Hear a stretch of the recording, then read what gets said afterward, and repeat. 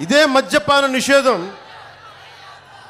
సాధ్యం కాదని నేను చెప్పాను నేను చెప్పింది ఏం చెప్పానంటే రెండు వేల పద్నాలుగులో అత్యధికంగా ఒక ఊర్లో మహిళలు కోరుకుంటే ఆ ఊరి వరకు మద్యపాన నిషేధం పెడతాం. ఇది ఎందుకు చెప్పామంటే అన్నా హజారే మహారాష్ట్రలో రేలేగావ్ సిద్ధి అనే గ్రామంలో ఒక గ్రామం అంతా కూడబలుక్కుంటే మెజారిటీ ప్రజలు ఉంటే అక్కడ మద్యపాన నిషేధం అమలు చేయొచ్చు. అలాగే ప్రాంతాల వారీగా చేయొచ్చు తప్ప మద్య సంపూర్ణ మద్యపాన నిషేధం ఎప్పుడు సఫలం కాలేదు. అమెరికా కూడా ప్రయత్నించింది.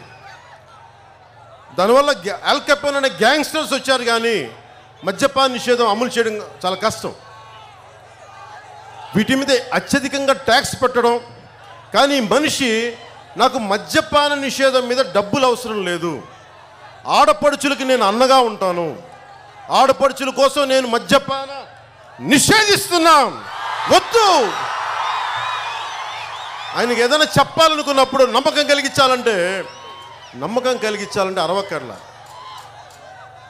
నేను సిపిఎస్ రద్దు చేస్తున్నా ఇట్లా చెప్పక్కర్లా. మామూలు చెప్పు. ఆచరణలు చేసి చూపించిన అరిచి చెప్పక. అలాగే కరెంటు ఛార్జీలు మొత్తం తీసేస్తున్నాం అండి ఎక్కడ తీసాము ఉన్న కరెంటు ఎనిమిది సార్లు పెంచారు కరెంటు ఛార్జ్. ఎనిమిది సార్లు. మద్యపాన నిషేధం అని చెప్పి అసలు మద్యం నుంచి ఆదాయమే వద్దన్న వ్యక్తులు పాతిక వేల కోట్లు ఆదాయం తీసుకున్నారు.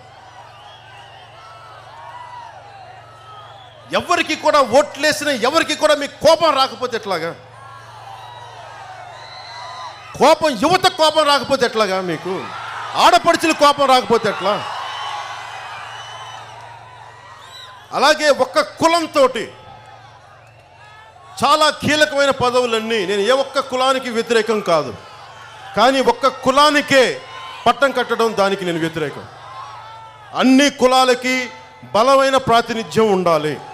అది నేను సంపూర్ణంగా కోరుకుంటాను. అంతేకాని ఒక్క కులంతో అన్ని కీలకమైన పదవులు టీటీడీ నుంచి చివరికి రిజిస్ట్రార్ వరకు ఒకటే కులంతో నింపటం తప్పు. అలాంటి జరగకూడదు. భవిష్యత్తులో జనసేన వస్తే వాటికి స్వస్తి పలుకుతాను. మనస్ఫూర్తిగా నేను మీకు తెలియజేసుకుంటాను